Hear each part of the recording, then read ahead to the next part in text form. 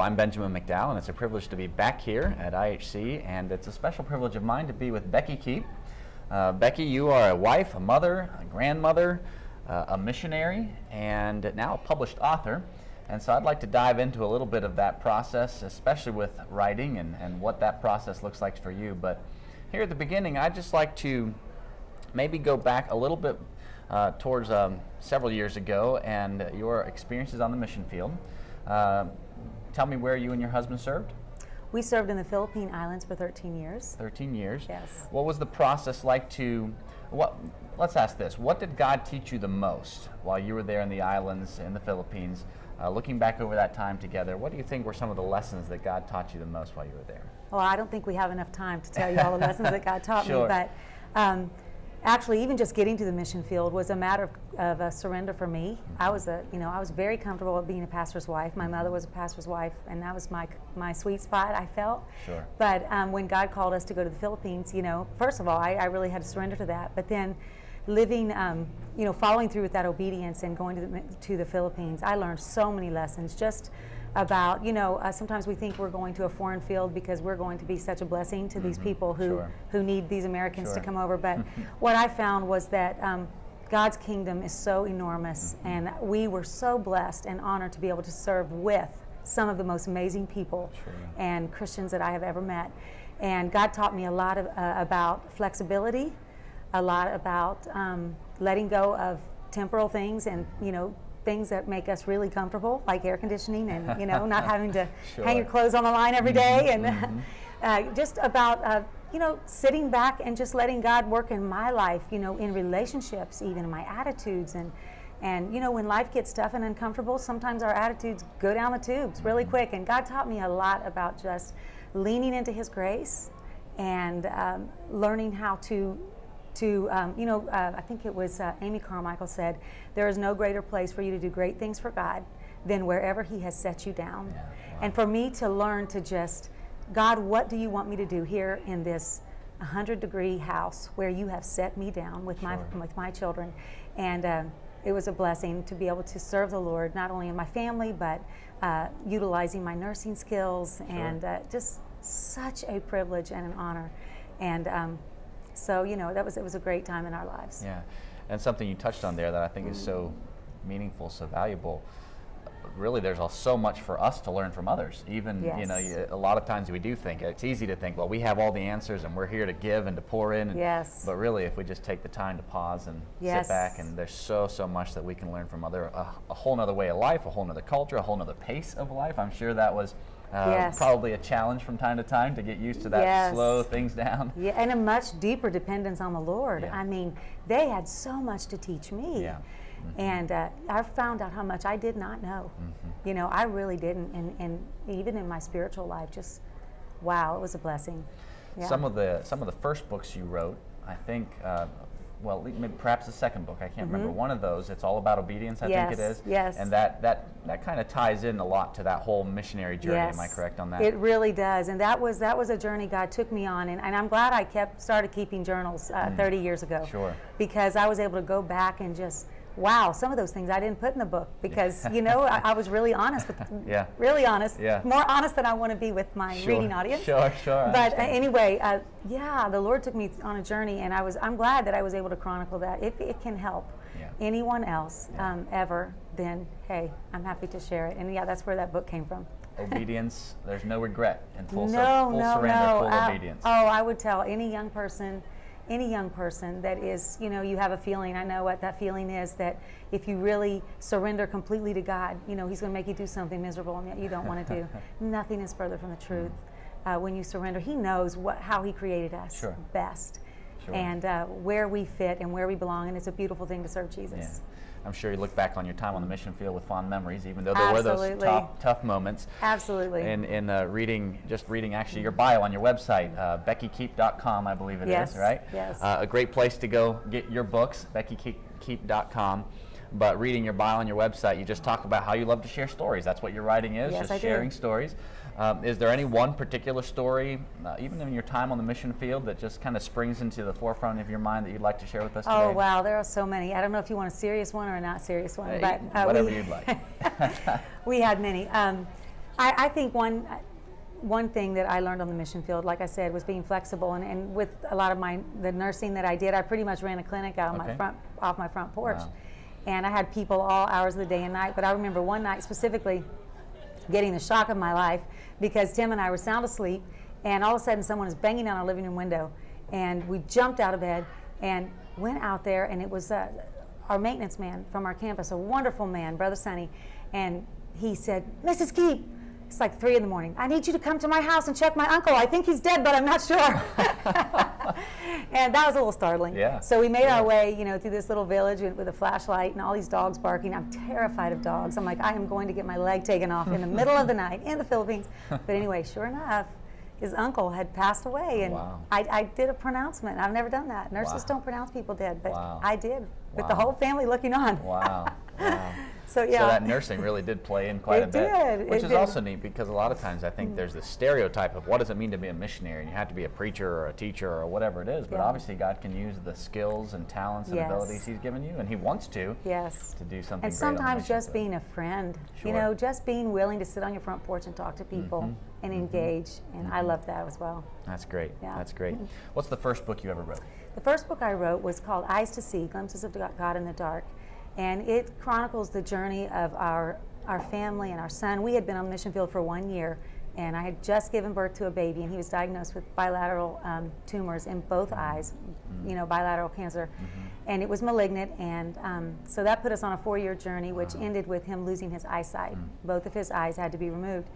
And um, Never thought I would ever tell anybody, you know, talk about that publicly or ever write a book. I had never thought of writing a book, although I'm an avid reader. I'm a voracious reader. I love to read. But about eight years later, after we, he was cured and we were back on the mission field and, and we had this little blind kid and um, about eight years down the road, I don't know, God began to speak to my heart and I began to go back and read my journals. From, I had never revisited them because I didn't really want to read all that yeah, again. it's a hard time. And um, but anyway, I really felt like I needed to write. I said I was going back and reading and thinking, God, you're even more amazing than I remember.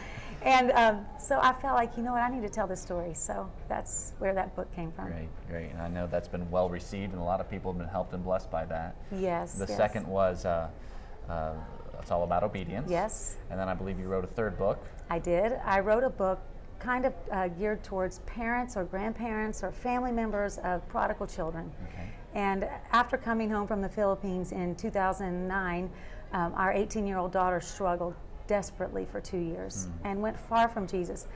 And um, I don't even want to begin to think about all the reasons why that happened, except that um, we prayed desperately. And I understand now uh, how come there's so much silence, especially in our in the church world.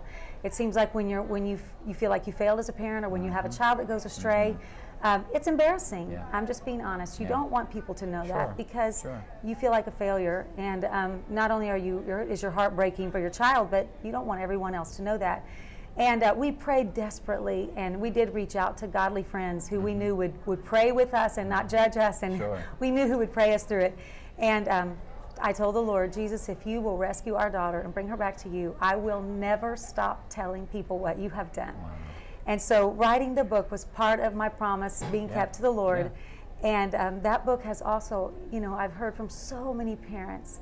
And you know what? If you're struggling like that, um, reach out to someone that you can trust. Yeah. You shouldn't be embarrassed or Yeah. ashamed. It's not about us. It's not about we're missionaries. Mm-hmm. We can't tell people this. It's not about, you know, what are people going to think. It's about the eternal destination Yeah. of our children. And it is always God's will to save our children. Amen. And I believe we can pray in faith, and God did answer our prayer. Thank the Lord. And our, da- our daughter is married to a wonderful Christian man, and they have three beautiful children. and when she sends me videos of them quoting scripture, it ah, just Oh, makes warms me your heart. Yeah. want to praise God all over again. Well, thank So, the Lord. And that is, it's a tremendous resource for parents. Yes. obviously, that's a tough, difficult place to be. I'm Yes. Uh, a father with young children at this point in time, but I can only imagine that process. And Yes. yet, God's grace is sufficient even in those times. Absolutely. And uh, and wow, what a what a good thing to see that journey. So the last book that you wrote uh, deals with some very important people in your life. yes, very important. Yes. Can you show us that book? Just Yes, I will. and- this and- is um, Another Time. And the subtitle is Two Unlikely People, Their Uncommon Path, and an Unshakable God. Wow. And this is a book that I, I approached my parents uh, about a year and a half ago and said, "Hey, mom and dad, how would you feel if I helped you guys put your memoir together?" Hmm. And they were kind of like uh, hesitant at first, but I talked them into it. Sure, sure, very good. Uh, so your parents have had obviously a very long, uh, long history in ministry, and really their whole lives have been dedicated towards yes. that. Uh, g- give me some stories. Again, you love to share stories, Yes. which obviously people like to write stories, Yes. read stories. Um, give me some stories that, that are found in that book that deal with their life. Well, you know, the title really says it all. It's called Another Time. Um, two unlikely people. My parents were very unlikely. Um, my dad came from a very poor family in the hills of West Virginia. His dad died in the war six days before he was born, so he was raised by his mom. He was the, the baby, the youngest child. And uh, my mom was in the city, but she was raised in, a- in a non-Christian home. She had a, a, you know, a very ungodly father and a very painful childhood in many ways. She did have a good mother, but God somehow miraculously got them both to God's Bible school when they were teenagers Okay. where my mom found Jesus, literally was transformed. My dad had been saved as a young boy, but um, and then God brought them together. And they, you know, from the very beginning, my parents, as I talked to them, they decided they were going to serve God. And um, and then they started having babies, and then that was another whole thing. How many? They had nine children in oh wow. in 14 years. Phew. So nine kids in 14 years. A years. whole lot So- of dirty diapers to take a care whole of. lot right of dirty there. diapers. And a funny story about that is that they had five after their fifth child, which is my sister Kim Collingsworth. You know, the child prodigy in the family. Sure, sure. Um, after Kim was born, my dad was like, you know, Sue, we really need to be responsible, and five kids is a lot. And we're spending a lot of money on diapers and formula, and so. You know, they made sure they would never have any more children, and the doctor Mm-hmm. told them, if you do, I'll deliver them for free. Don't even worry, there's not going to be any more Keaton babies. Well, uh, 15 months later, my mom told my dad, I am sick, and I, you know what the sick I'm talking about. And he said, You got indigestion. There's no way we're having another baby. Well, my nickname has been indigestion for the whole of my life. So, um, That's great. but anyway, yeah, so they, they had so many children, and um, literally all I, all I knew growing up was ministry. My dad was a pastor, uh, an evangelist, a Bible college president. And the one thing I would say about my parents is um, most compelling thing as a little child was they always made the ministry look wonderful. And I remember as a kid just it was always there's nothing more you can do that's nothing better in life that you can do is serve Jesus Wow. and and and ask him to call you into the ministry. Sure, And I know we didn't have any money. I mean, we were poor as turkey, but it still seemed like the most, the highest thing. Sure, You know, that's how they made it Yeah, seem. Yeah. And it was that's great. beautiful. So One of the greatest lessons probably they taught you that they could we- give absolutely, without a doubt. Uh, Yes. your, your dad was actually the president of FEA Ministries for a while, Hope Yes, he International was. Missions in Yes. Hobe Sound. That's what I'm a part of, and uh, obviously he left a mark and an impact there. Yes. Um, if, if there was one thing in this book, if you could kind of just summarize, hopefully everybody goes out and gets one of these Yes, books. Again, yes. BeckyKeep.com. You can feel free to go there and purchase that. But mm-hmm. if there was a summary for, until we get a chance to read that, if there was a summary statement or concept out of that book that you would like to share with us, what would that be? That would be that, you know, whoever you are, it does not matter where you come from. You do not have to come from the spiritual elite, as you might say. God is looking for you. Mm-hmm. That is a message in this book. God is looking for you. And He wants your surrender. Mm-hmm. My parents, my parents' number one goal was that when people read this book, they would see a faithful God. My parents want to be, I asked them, how do you want to be remembered? Mm-hmm. And what they said was, we want to be remembered as people who loved God completely. Completely. We want to be remembered as people who were faithful to our calling. Mm. And we want to be remembered as people not only faithful to our calling, to the ministry God had entrusted to us, but that ministry never stops. If you're a Jesus follower and He has called you, mm-hmm. ministry is lifelong. Amen. And we never stop ministering and we never stop taking risk mm-hmm. for God. And my parents have never stopped taking mm-hmm. risk. Two years ago, they took in their recovering drug addict granddaughter into their home. Hmm. She had gotten saved and been recovered, you know, had recovery. sure. And she had nowhere to go. And, and the hmm. rest of us kids were going, Mom and Dad, uh, are you, Mom, uh, you guys can't do this. You're in your mm-hmm. 70s. She's a recovering addict. Mm-hmm. They're like, Yes, we can. It's our granddaughter.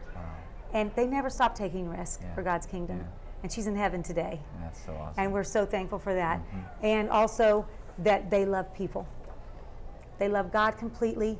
They're faithful to his calling and that they love people. And that you don't have to be perfect. You read this book, they share the good, the bad, and the ugly, and the very, very funny, I Yeah. will say. I did a lot of laughing and I did a lot yeah, of, are you sure. sure you want me to put that in the book? And they're like, yes, please do. But you know, It's they're real. It's real, honest yeah. Mm-hmm. and authentic. I think you will find two very imperfect people who are very authentic. They're authentic Christians. Mm. And just open their lives and let God Open their lives. Yeah. And you know what? That's why I'm sitting here today because they made it easy. When I heard my dad preach, I could have preached some of his sermons. I tell you, I knew whether or not I was going to the altar. If he started, I knew what sermon it was. And I'm like, oh, I'm going to be at the altar. But anyway, um, I knew when I heard him preach that I could listen and the Holy Spirit would speak to me because he was the same man at home that he was in the pulpit. Wow. And That he, he was authentic. Yeah. And so I knew God was authentic. Yeah. Wow. And I'm thankful for that. So you'll, you'll find very imperfect, funny, God fearing people in this book. I That's hope people will go fantastic. out and, yeah, and absolutely, and I hope you will. BeckyKeep.com. Yes. They can go there for that book and the other three that we've talked about today. Do you have Yes. plans for another book? I have something rolling around in the back of my head, so Okay. we'll see. All right. Hopefully that shows up as well. and if you haven't had a chance to pick up another time or any of the other books that you've written, I certainly hope you take advantage of that and uh, go to BeckyKeep.com. And it's been such a great conversation with you today. Thanks for taking time, Thank you so much And for I've thank you for the opportunity. learning a little bit more about. I, I think it was indigestion. Uh, Yeah, that was me. learning about you and your story. Thank you so much for how God has used you, and, and you're an inspiration and example to us. Thank you Well, so thank for you so much for having me. God All right, bless you. God bless.